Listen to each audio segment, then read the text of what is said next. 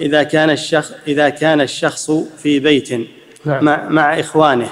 نعم. إذا كان شخص في بيت مع إخوانه.